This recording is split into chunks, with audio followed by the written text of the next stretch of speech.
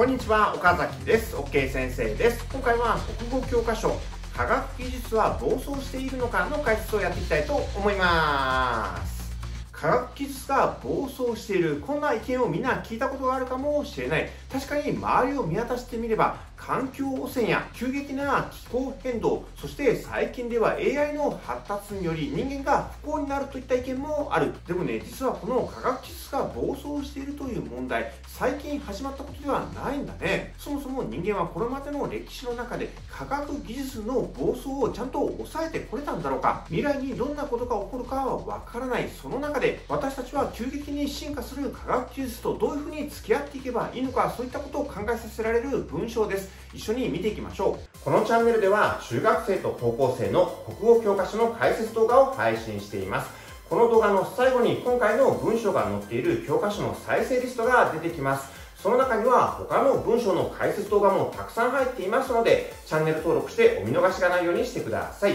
それではやっていきましょう。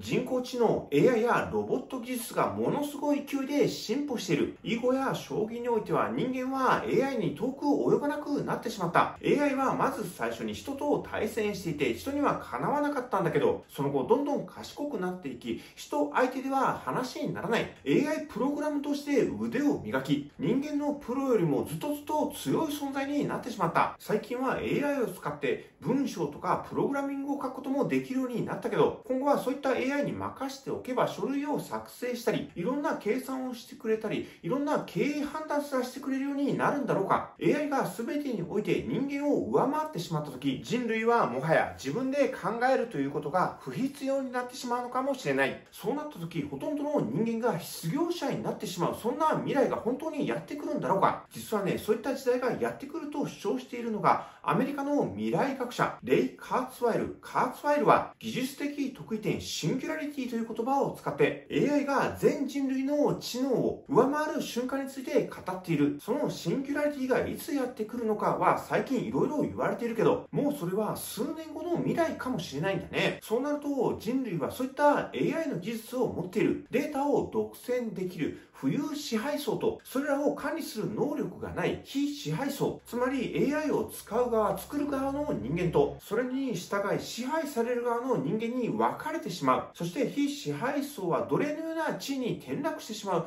こういった未来予測もあるんだね。確かに最近の AI やロボット技術の話を聞いていると、一般の人たちがついていけないぐらい進んでいっている。例えば、ゲノム編集技術といって、遺伝子を壊したり切ったりした部分に別の遺伝子をくっつける技術とか、脳と機械を接続するブレインマシン、インターフェースといった技術も研究されている。今や人間は人を含む生命を操作できる、そういった技術を身につけようとしているんだね。で、このまま技術が進んでいくと、人類はその技術により滅んでしまうかもしれない。そういった考えが出てきてもおかしくないかもしれない。でもね、ちょっと待って、この科学技術というのを振り返ってみると、実は何万年も前から、あるいは何十万年も前から、人類はこの技術に暴走を許してきたということもできる。例えば、農耕という技術。これは今から2万3000年ほど前に、イスラエルの地域で最初の農耕の証拠があるんだけど、1万年ほど前になると、西アジアや中国でも農耕が行われるようになってきたらしい。で、この技術っていうのは人類の歴史の中で比較的新しい技術ということができる。ただ人類はこの技術のおかげで食料を安定的に生産することができ、それまでのように食べ物を求めてあちこち移住する必要はなくなった。その後人口も増えていって、富の余剰も社会に蓄積されていったので、強大な統治権力が生まれるきっかけとなった技術なんだけど、でもね、実はこの農耕、人々を幸せにしただけではない。農耕開始期に注目してみると、実は人類の人口っていうのはむしろ減少したとされているんだね。え、なんでせっかく農耕によって作物を収穫できるようになったのになぜ人口は減らなければならないの？そういうふうに思うかもしれないけど、人々が同じところに密集して住むということは、細菌や寄生虫などの病原体が繁殖しやすい環境が整っているということができる。そう、この時期人類の感染症の被害が拡大したんだね。他にも人間が生み出した技術というのは人間に害悪を与えることがよくある。火薬をはじめとする様々な武器は、もちろん土木工事の時などにも使われるけど、戦争でもその技術が使われることによってたくさんの死者を出した。また、運搬や移動のための技術、飛行機や自動車の技術はとても便利なものだけど、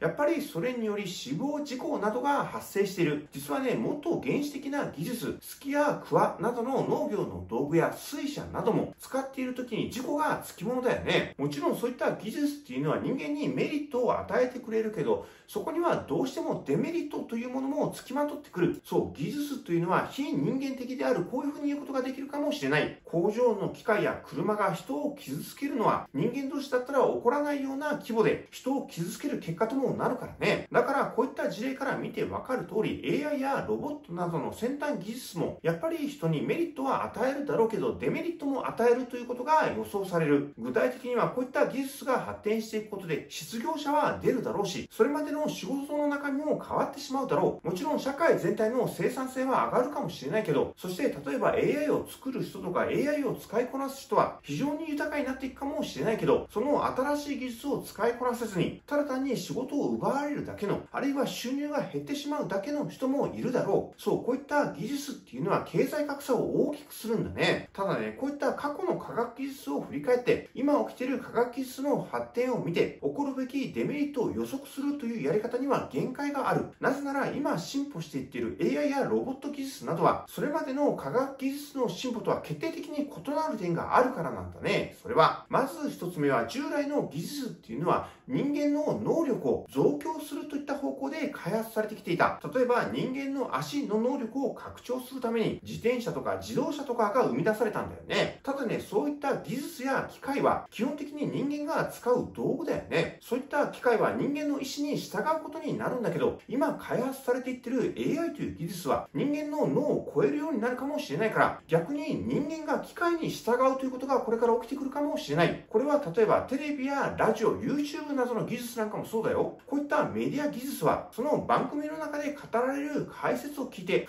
自分がどの製品を買おうかなということを決めたりする。もうすでに今の時点で私たちの意思というのは、そういったものに左右されるようになってきているんだね。で、他にも従来の技術っていうのは、一人のあるいは数人から数十人程度の能力を増強するものに過ぎなかったけど、ね、車で行ったら一人とか5人ぐらいの移動の能力を増強しているに過ぎないよね。でもそれが現在の先端技術になると、もうそれはあらゆるところに偏在していて、我々を取り巻く環境そのものとなっている。例えば情報関係の技術なんかそうだよね。こういった外部環境化もメディア技術とか IT 技術が進歩していた頃から、どんどんと見られるようになったんだけど、これがさらに AI とかロボットが進化することによって、私たちの周りを取り巻く環境そのものとなりかねないんだね。例えば今後私たちはどっかに旅行に行きたいと思った時、部屋の中で AI になんかどっか旅行行きたいな、いいやんないこういう風に聞くと、その人に合った旅行プランを提案してくれて、飛行機のチケットやホテルやその他のレストランまで予約してくれるようになるかもしれない。そして他にも従来の技術と違う部分、それは先端技術っていうのが人間の内部にまで入り込んでくるっていうこと。それまで人間の目の能力を増強するために望遠鏡とか顕微鏡とかが生み出されたけど、そういったものは基本的に人体の外部にあったよね。ところが現在の技術はマイクロマシンや人工臓器といったように超小型であるいは人間の身体の代わりとなって人間の内部に深く入り込むようになっている機械と人間、技術と人間が一体化していっているんだね。そして最後に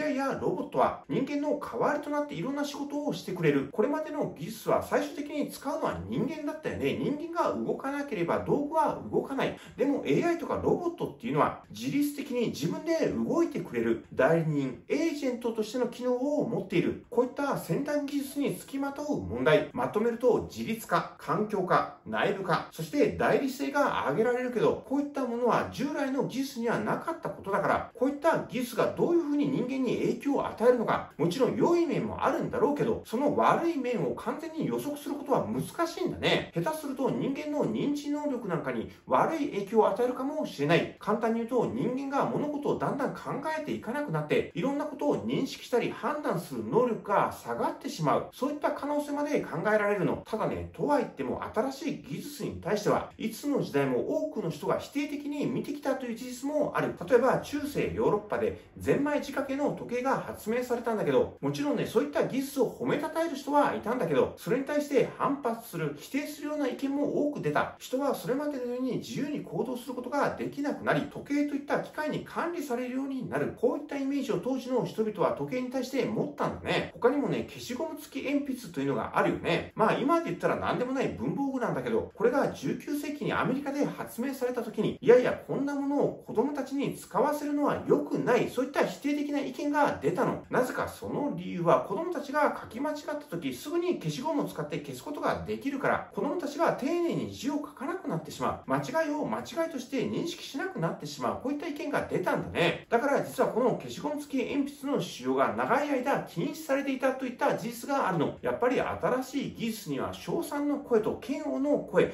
両方が付きまとうんだね。ただね、最近の AI やロボットの技術っていうのは、先ほどの4つの新しい特性のために、その賛成と否定の意見っていうのがかなり強いように感じる。ロボットや AI は敵なのか、それとも味方なのか、その答えはどちらでもあるという答えしかありえない。こういうふうに筆者は考えている。道具や技術っていうのは人間がどういうふうに使うのかによって大きくその性質を変えるからね。ただ日本っていうのはこういったロボットとか AI の技術に対して西洋社会よりも友好的であるとされている。人工物と人間の境界線をあまり意識せず、ドラえもんのような友達としてそれを受け入れるといった土壌が日本人の気持ちの中にあるのかもしれない。また、これはアニミズム的心象が関わっていると主張する人類学者もいる。アニミズムっていうのは自然界のいろいろなものに霊が宿っているとする考え方だけど、日本は古来から道具の寿命が尽きた時、ただそれを捨てるのではなく、命があるもののように大切に弔う。こういった習慣があったんだね。これがアメリカやヨーロッパを見てみると、フランケンシュタインやターミネーターの話を見てわかる通り、そういった技術やロボットは人間に危害を加える敵として描かれることが多い。もちろんね、こういった問題は東洋と西洋に簡単に二分できるわけではないよ。東洋は絶対的にロボットや AI に友好的で、西洋は敵対している。こういうふうに簡単に割り切ることはできないんだけど、やはり人と人工物の距離が近いという日本の特性は、AI やロボット技術との共存を目指す上で、今後有利に働いていくかもしれないんだね。新しい技術と社会の関係を考えるときに、その文化システムのあり方っていうのを考える必要があるんだけど、日本のそういった AI や機械に対する考え方っていうのが、今後新しい社会的価値を作り出していくかもしれない。そこに期待してチャット GPT を作っているオープン AI は最近日本にも会社を設立することを決定した。その決定の一つの原因となったのが日本や日本人が AI に対してそこまで反発心を持っていないというところ AI の技術を厳しく規制していくのではなくそれを使って豊かな社会を築いていこうとするそういった土壌が築きやすいと判断されたからなんだね。もちろんこれまでも科学技術は暴走を繰り返しいろんな害をもたらしてきた。ただその中で人間社会がいろいろと進歩してきたのも事実。よって私たちはこれからも先端技術というのをただ単に拒絶するのではなく、避けて通ろうとするのではなく、それを積極的に飼いならそうとし、一緒に豊かな社会を実現しよう。こういった方向性に技術と社会を導いていかなければならないんだね。どうですか？今回の授業分かりましたか？未来がどういう風になるか分